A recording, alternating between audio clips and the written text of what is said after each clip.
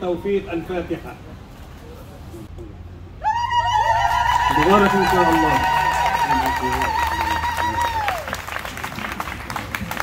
Thank you.